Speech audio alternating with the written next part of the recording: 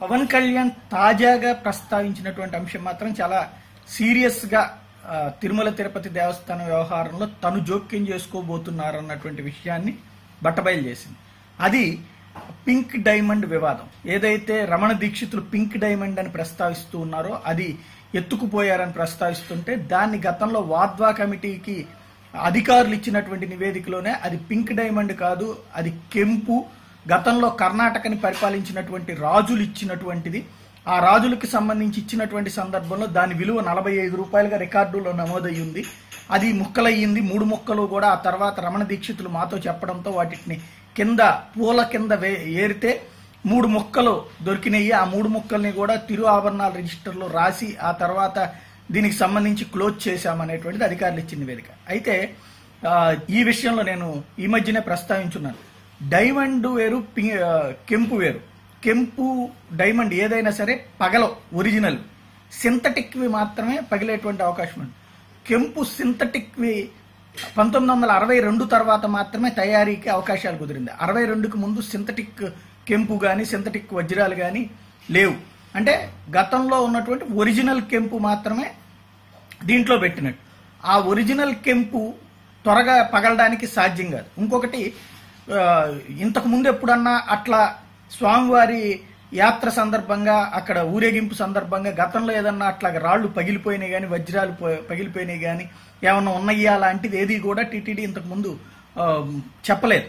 కేవలం ఈ ఒక్కదాని గురించి మాత్రమే ఈ నివేదికలో రాసుంది.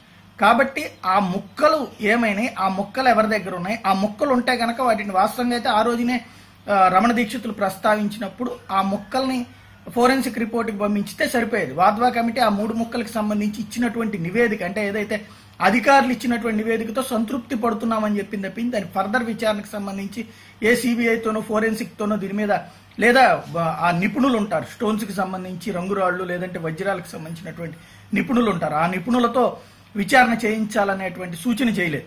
దీంతో అక్కడతో వదిలేశారు. ప్రస్తుతం దాని మీద సిబిఐ దర్యాప్తు జరపాలన్నటువంటి డిమాండ్ని పవన్ కళ్యాణ్ తెర మీదకి తీసుకొస్తున్నారు. రీస్ట్రక్చర్ అంటే ఎలా రా ఇసిరితే వెళ్ళి లోపల అంటే సాధారణంగా స్వామివారిని ఊరేగింపుగా తీసుకొచ్చినప్పుడు ఒంటి నిండా కూడా పూలమాలలు ఉంటాయి పూలమాలలు ఉండగా పూలమాలలు అడుగునున్నటువంటి హారానికి లేదా మధ్యలో ఉండేటువంటి హారానికి నేరుగా వెళ్ళి అంత స్ట్రాంగ్గా అందులో భక్తులు ఎదురుగా ఉండరు. అటు ఇటు రైట్ సైడ్ లెఫ్ట్ సైడ్ ఉంటారు. వాళ్ళిద్దరూ అటు ఇటు ఉన్నటువంటి వాళ్ళు విసిరే సాధారణంగా అటుకో ఇటుకో పడితే తప్పించి ఎదురుగుండా ఉన్నటువంటి ఇక్కడ వేసేటువంటి హారము సైడ్కి వేయరు ఎదురుకు వేస్తారు. ఎదురుగా మనం చూస్తే మాడవీధులు. మాడవీధుల్లో ఎదురుగా ఉండేదంతా కూడా డ్యాన్సులు లేకపోతే ఇతర సామ సాంస్కృతిక కార్యక్రమాలు నిర్వహించే టీంలు ఉంటే వాళ్ళెవరూ రూపాయలు విసిరేటువంటి అవకాశం ఉండదు. అట్లాంటప్పుడు అక్కడికి ఎలా వెళ్ళి పడుతుంది ఇలాంటిదంతా కూడా రీస్ట్రక్చర్ చేస్తే సాధ్యమవుతుంది. కాబట్టి ఇంత డీప్గా ఆలోచించి రీస్ట్రక్చర్ చేయమని అడగటం అనేటువంటిది పవన్ కళ్యాణ్ ఒక విధంగా దీని గురించి మిగతా వాళ్ళతో మాట్లాడి తెలుసుకుని డిమాండ్ చేసినట్టుగానే కనబడుతుంది. అది ఒక ఎత్తు అయితే రెండవది ఇందులో ఇంతకుముందు తనకు ఒక అధికారి చెప్పారని అక్కడి నుంచి ప్రత్యేక విమానంలో స్వామివారి నగల్ని వేరే దేశానికి పట్టుకుపోయారు అమ్ముకున్నారు అనేటువంటిది గతంలో ఒక అధికారి చెప్పారంటే ప్రకటించారు ట్వీట్ల ద్వారా. ఆయన ఎవరు? అలాంటి అధికారితో బయటికి ఓపెన్గా చెప్పించచ్చు ఆయనతోనే చెప్పినప్పుడు బయటకు వచ్చి చెప్పడానికి నష్టమేం లేదు తప్పేం లేదు. చెప్పించితే ఇంకా అద్భుతంగా ఉంటుంది కరెక్ట్గా దీని మీద నిజమైనటువంటి దర్యాప్తు చేయించడానికి వీలవుతుంది.